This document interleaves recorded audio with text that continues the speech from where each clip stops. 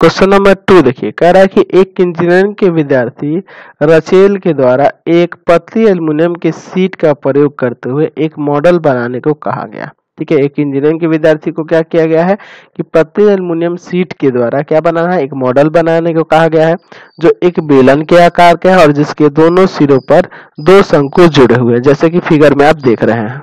ये आपका बेलन है, ठीक है, और दोनों ऊपर से और नीचे से शंकु दिख रहा है ना? चलिए, इस मॉडल का व्यास जो है तीन सेंटीमीटर अच्छा मॉडल का व्यास तीन सेंटीमीटर यानी कि त्रिज्या जो होगी 1.5 सेंटीमीटर हो जाएगी। ये भी आपका 1.5 सेंटीमीटर हो जाएगा, है ना? और इसकी लंबाई 12 सेंटीमीटर है। टोटल यहाँ से यहाँ तक की लंबाई कितनी है आपके पास? 12 सेंटीमीटर है, ठीक है? यदि प्रत्येक शंकु की ऊंचाई दो सेंटीमीटर यानी शंकु की ऊंचाई ये वाला भाग दो सेंटीमीटर है और यहाँ भी आपका दो सेंटीमीटर होगा। तो रचेल द्वारा बनाए गए मॉडल के अंतर्विष्ट हवा का आयतन ज्ञात कीजिए। मतलब इसमें कितना हवा आ पाएगा उसका आयतन? इन तीनों का आयतन जोड़ देंगे दो शंकु का और एक बेलन का। यहाँ आगे कह रहा है कि यह मान लीजिए कि मॉडल का आंतरिक और बाहरी विमाएँ लगभग बराबर है। क्योंकि पतली एल्युमिनियम के सीट से बना है ना तो उसमें उसको नहीं लिया जा रहा है कि अंदर बाहर से कोई फ़र्क नहीं पड़ता है। दोनों तरफ़ से बीमाएँ समान है यानी कि ये एकदम पतला एल्युमिनियम का सीट है। इसीलिए ये कह रहा है कि आंतरिक और बाह्य बीमाएँ लगभग बराबर है। चलिए देखते हैं। तो शुरू करते हैं शंकु से। शंकु की त्रिज्या। शंकु की त्रिज्या, यानी कि आर कैसे हो जाएगा? तो तीन में दो से भाग करना होगा ना? व्यास का आधा। यानी कि हो जाएगा 1.5 सेंटीमीटर। ठीक है? शंकु की ऊंचाई। शंकु की ऊंचाई, शंकु की ऊंचाई, शंकु की ऊंचाई यानी कि स्मॉल एच मान लेता है टू सेंटीमीटर दिया है ना ऊंचाई दो सेंटीमीटर चलिए अच्छा शंकु की तिरक ऊंचाई से इसमें कोई मतलब नहीं क्योंकि आयतन है ना one by three pi r square h होता है। चलिए, अब चलते हैं बेलन पे। तो बेलन की बेलन की त्रिज्या। तो बेलन की भी त्रिज्या वही हो जाएगी जो शंकु की है 1.5 सेंटीमीटर बेलन की ऊंचाई, बेलन की ऊंचाई, बेलन की ऊंचाई। इसको हम लोग बड़ा एच से सूचित कर रहे हैं।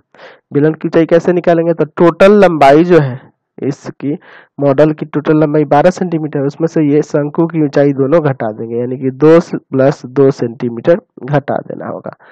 यानी 12 सेंटीमीटर और माइनस का चार सेंटीमीटर, यानी कि यहाँ से जो ऊंचाई आ गई वो आठ सेंटीमीटर हो गई बेलन की। हमें क्या निकालना है कि मॉडल में मॉडल में अंतर्विष्ट अंतर्विष्ट अंतर्विष्ट हवा का हवा का आयतन, अंतर्विष्ट हवा का आयतन। तो कैसे निकालेंगे? तो यहाँ लिखेंगे लिखेंगे बेलन का बेलन का आयतन, बेलन का आयतन प्लस दो गुना शंकु का आयतन, दो गुना शंकु का आयतन।